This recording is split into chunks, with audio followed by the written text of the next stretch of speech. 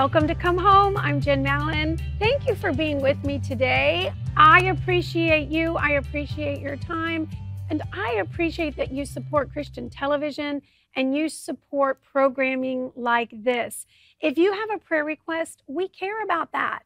That's one of the differences between us and a reality show and a sitcom is that we pray over the things that you send in. We have a great prayer team. So please take advantage of that because when two or more are gathered in his name, he is there. And right on the bottom of the screen, you will see where you can send those emails to. You can always do handwritten, a voicemail. We're just so glad that we can connect and communicate together. Well, today I have an incredible voice, Shawn Bolz. He was in ministry for over 30 years. Then the Lord said, Hey, it's time to go on to and, and the arts and entertainment and media mountain. He is being used mightily as a prophetic voice, how to hear the voice of God, many curriculums, many books. But the Lord is using him to do commentaries and and he has hundreds of millions of downloads of his podcast of his views. He hits controversial subjects but with kindness and compassion. And just the love of Jesus exudes out of him. You'll so enjoy our time together especially in the climate that we're in this political climate this pressure global climate with so much going on that could lend to heaviness. He brings hope and healing to our situation and really positions us and spiritually aligns us on how we need to behave and act accordingly as people of light that are filled with the Holy Spirit who walk in God's promises and his principles. So join me now as I bring Shawn Bolz on. You'll get so much out of it, and I'm so grateful for you. Hi, can I invite you to get a double blessing? If you or somebody you know is going through some changes in the workplace and they could use some support in the employment scene, please get this book. And at the same time, you can, with a donation of $10 or more and shipping and handling, bless the Come Home with Jen Mallan show and ministry. Thank you.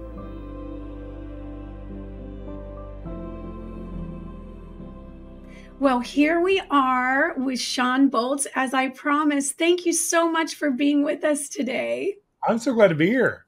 Finally, finally, right? it took us a while to connect, but we got here. Well, God's timing is perfect. And so I'm so grateful. I do want to share with you and with the viewers that during the uh, coronavirus lockdown pandemic, whatever you want to call it. Uh, your book Breakthrough was my mm-hmm. go-to, and it, it, it was truly. We um, did 783 Zoom calls in a row for our local congregation at the time, and so many of those calls, I just had your book right in front of me, going through it. And then I got provision and I loaned that to someone and they never gave it back. So I got, I got to reorder I'll send you a new one. I'll send oh. you a new one. but listen, your materials, before we just kind of get into the meat, I just want to thank you for the price you've paid, the costly oil you carry, the way that you have trained the body of Christ to hear God's voice, to mm-hmm. understand mm-hmm. God's voice. Um, you're, and just for the way that you've said yes to the Lord in this new season where He's really transitioned you into marketplace ministry. So now you have a voice in two uh, very influential mountains, and you have millions, if not billions, of downloads and views, and and you are you are you are being used incredibly. You are in the front of the line, and you are stomping the ground. And thank you. Well, I didn't know I was going to get words of affirmation like overload right now. This is a, I so appreciate it though. No, it's it's good, and and teaching people how to hear from God. It's one of the my favorite things and the easiest thing to do and I grew up around a lot of people who heard from God, but they didn't have the ability to just make it pliable or easy for someone mm-hmm. else to do it. So it's one of my passions is to see the everyday person who already hears from God really get in touch with how He speaks. So thank you for even bringing that up. I think it's so it's so important. Well, you know, you Shawn, you you have such an anointing to make very deep truths very palatable and mm-hmm. you present them in a compassionate way, in a, in a kind way, and in bite sized pieces. And you even take controversial things um, that sometimes not, you know, pulpit ministry sometimes isn't comfortable with, and yeah. uh, our current events. And then and you connect us to understanding, to the heart of God. You bring in kindness and compassion. And it's so needed because sometimes the media world can be very um, sharp and harsh and critical and bitey. And that is mm-hmm. not the spirit that is on you. And I, I really appreciate that. Well, it takes one to know one. I appreciate that too. So that's it's a great compliment. It's I think it's God is positioning people like us who um, it's not at the expense of someone loving someone to do media. And I think we're supposed to love first. And I think that's really hard when you're talking about, you know, I'm talking this week about Kamala again, and I'm not a Kamala pro Kamala person as far as the vice president right now for running for president. But there has to be a place inside me that sees God's redemptive plan and sees who she is before she's the fallen one, before she, you know, before any of us are fallen. There's this place of grace where we got to learn to see what God originally dreamed over each other. And, and I think that's how I try and operate. It's not always easy, and I don't always succeed, but it's one of the things. One of my passion places is to dream big with God over people's lives before I talk about them. That's good. What a what a good principle for us all to uh, work on with the Holy Spirit. yeah, there's no us and them in the kingdom. It's all it's all of us together. Everyone who's alive on the planet right now deserves the love and the grace of God. Yeah, that and you know, so often, you know, I grew up in that hellfire and brimstone mm. age. And uh, I really got, you know, drilled into me the fear of God and, ah, and yet this generation does not accept that. They they don't swallow it, and really, yeah. it's the goodness of God that is going to lead them to repentance. The undeniable yeah. Yeah. hope and grace and love doesn't mean we water it down, but it means that we present it. I agree. I agree. I think we used to be defined the fear of God was being afraid of God, and and I I have a really good family. You would love my parents. They're so sweet. They've been married. They're going on this week sixty three years. Wow. This week for their anniversary. And my dad just didn't look at women like lustfully. Besides my mom, he would look at her and it'd almost be embarrassing. I was like, Dad, and he didn't look at he he. I never saw him with pornography. I never saw him, and he would say, you know, I'm protecting my relationship with your mom at all costs. So if I do that stuff, then I get less with your mom. I don't I don't mm. experience the same quality as I experienced with your mom. And to me, he said that's what the fear of God is. Yeah. If you love the relationship, you're protected at all costs. Yeah. And that that changed everything for me. I didn't have that religious kind of thing of like I got to be afraid of you, God. I had this thing of like I want to be with you. I don't want to. I don't want to do this because I get less of you. I, I want all of you, God. So I think that's. I think this generation is wired for that. Is just saying I want all or nothing. Yes. And if you have the fear of God, it means you can have all of God. You're right. Okay, so Shawn, for those that um, have been following you for years or decades, I want you to catch them up with what God's done in your life in the last four years. And for those who are like, who is this amazing guy? How come I've never heard of him before? Kind of share what started happening 2019, 2020, and then yeah. the platform and and just this influential gift that God's given you for for such a time as this. Well, yeah, I, I was happy doing ministry, but always felt called to the entertainment industry. And so I was always working with video games and working with stuff, but doing full time ministry as well. So I always had a side business, side hustle. And uh, it was really interesting because, you know, all those years I was around people who didn't care about culture. They cared about church culture. They cared about their movement, their church, their apostolic, whatever endeavor, and their Christianity or whatever and there's a lot of um, movements that were more charismatic. Sometimes Pentecostal is involved with, and I, I somehow arrived to a place where I can go almost anywhere and preach almost anywhere in those spaces. They were kind of fringy places, but they were in those spaces, and I love the I love the crowd I was around. I just really had a love for these groups, and at one point, I remember just feeling like you know God doesn't give us a calling to just deploy us just to our family. It's always it's also outside of our family as well, unless you're called to build just that house, just that family house. And so I moved to LA back in 20, uh, 2006. And I felt like Jesus showed me just real clear word I'm homeless in Hollywood. Will you build me a home? and I'm like, I am not a pastor, God. This is like, I'm a minister. I've trained in Bible schools. I've done all kinds of things, but I'm not a pastor. And I've trained people how to hear God's voice primarily for uh, over a decade and a half at that point. And so I ended up um, starting a church, and it was a, kind of a kind of an activation center because I would I had a lot of Fuller Seminary graduates and Biola graduates of theology, and they would teach and they would preach and they would pastor the community with me And I was traveling all the time and I was just learning a lot about being in a space like Hollywood and Los Angeles where 30, 50% of our people were in the entertainment industry about what God's doing in those spaces that look so evil and dark sometimes when you're not there. And just seeing the beauty of people who are studio execs at CBS, uh, CBS or NBC or Disney. And so I ended up working a lot uh, in consulting and helping people keep into their compass, their spiritual compass, why they were in these secular roles and places. And a lot of it was just discipleship, friendship, mentorship. And after a good decade of doing that as a senior pastor, I had got married. So my first marriage, my wife, who I'm still with today, love her. Hopefully, same as my parents, I'll be a really old man in my hundreds. But hopefully, you know, but uh, my my wife and I, re- she was a real catalyst for change for both of us. And she has a media calling on her life as well. And so she, she just really challenged me. It was like, this is you're called to be deployed into the thing that God's put in your heart. You didn't come to LA to be a pastor. You, God asked you to be when you got here, but that's not what He asked you to be bound to the rest of your life. And so she and a therapist uh, did a number on me and worked me out of my job. And at that time, I had a really wonderful encounter with God where I just I just got a, a strategy on how to activate people and how to hear God's voice and and especially people who don't feel like they hear from God. And I went around the world and deployed that for about seven years. Seven years into it, I'm telling you, I knew I was supposed to go full time in media, but my board and my friends and my everyone in my life except for Cherie was like, you know, Shawn, just take steps into it. Don't go fully into it because it's hard to get into media and it's hard to work in media, and especially when you want to do production too, not just hosting.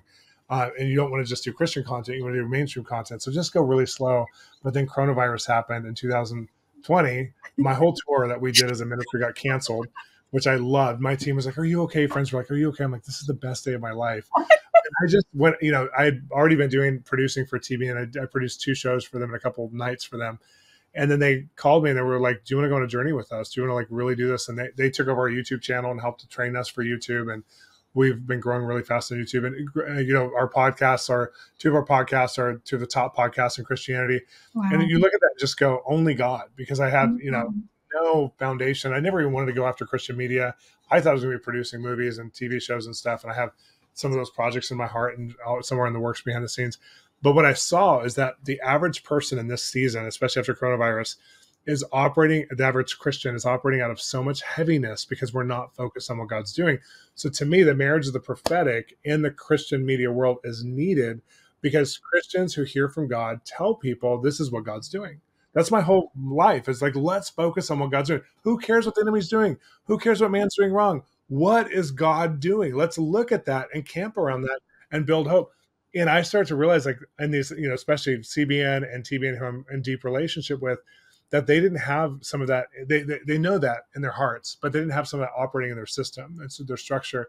And I've just behind the scenes just been like plowing them, going, but this is what God's doing, and this is what this is why this is good, and this is why this is okay, and let's celebrate when this person gets saved and baptized, even if five years later they walk away. Let's celebrate the moment. Yes. Let's let's connect to it. So I feel like not only have I been um, able to have my media, but I've been able to be behind the scenes with people who produce and create media in the Christian world and be a great reinforcement or encouragement to them and a prophet to them, a prophetic mm-hmm. voice to them. So it's been really an intro. That's my transition. So I hope people when they when they're looking for positive media, that's especially social commentary, that they'll find my commentary and spend a season, even if they don't agree with each of the things I'm saying. The backbone is think for yourself, discern for yourself, connect to God's love over the situation, even if it's politics that are ugly, even if it's crime that's being exposed that's corrupt, even if it's something in the entertainment industry that's insidious, like human trafficking that just got mm-hmm. exposed at Comic Con.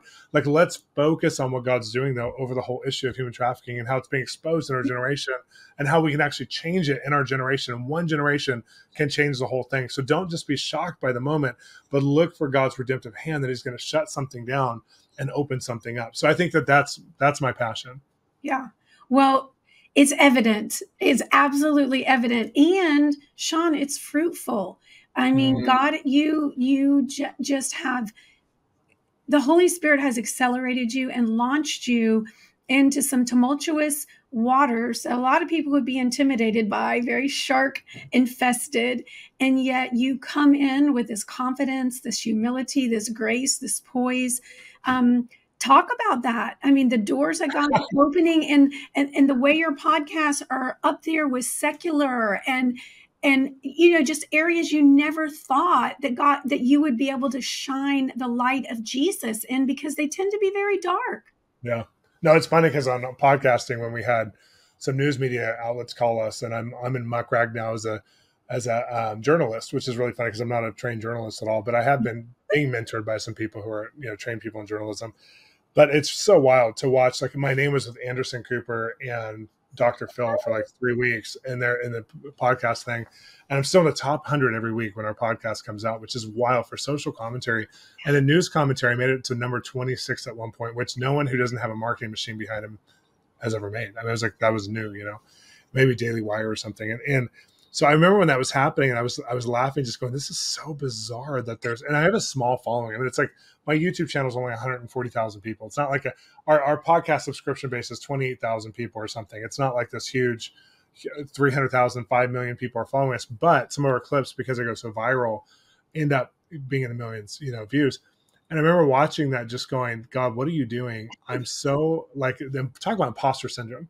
Like these people are trained and they've spent their whole life, especially when it comes to politics in this world, and I'm coming in with just a prophetic insight or just a perspective that yeah. maybe no one else has gotten. And one of the news programs I'm regularly on, they said, you know, you're one of our um, Mount Rushmore's uh, figures on our news program because when we call you, you there's nothing that you say that's like anybody else we can call in the whole world.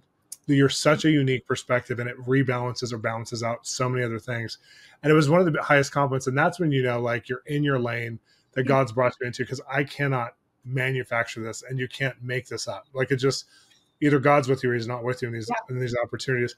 And I what I'm seeing though, and I say this about myself because I'm seeing other people who they know they're called to ministry, they know they're called to be a voice, but they're not called on traditional maybe a platform of a church, or they're not called to just be a news anchor on in a news. But there's this middle ground, and I've been watching it happen, especially on YouTube and TikTok, where there's all these Christian voices that are emerging that have millions of followers, millions of followers and it's because they have a unique voice to speak to culture right now. And so I feel like I've been giving people courage for a long time for that. I go to a group in Hollywood that they have 150 million followers between the 26 of them that, that meet in a Bible study, and they're models and influencers, and some are do Bible studies and stuff online.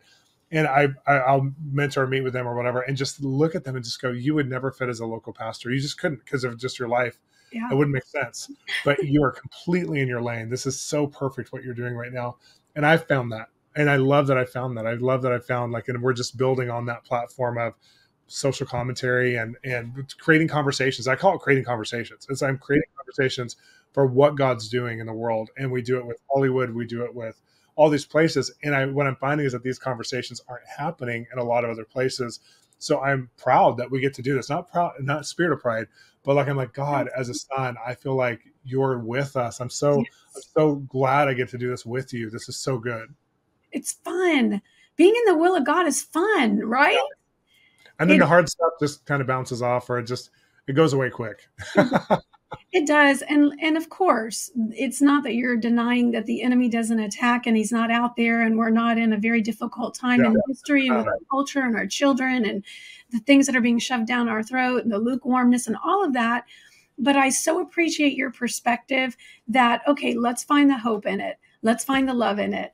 Let's, you know, find the faith in it. Let's find the redemptive value in it because that's what Jesus would do. That's what he needs us to do. Yeah. He came in such a dark time and he he was like a social commentator. He told them what was about to happen. He told them where their faith should be. He told them to ignore certain politics in certain places that he didn't need to focus on. And so he did such a good job in culture in a really dark time of setting their faith. And I'm just like, I, I look at that as my example all the time. I've, I've reread the scripture so many times, just going, you've done this, you've done this. Like you've been like an anchor on a, on a TV show telling people how to perceive. It's so crazy.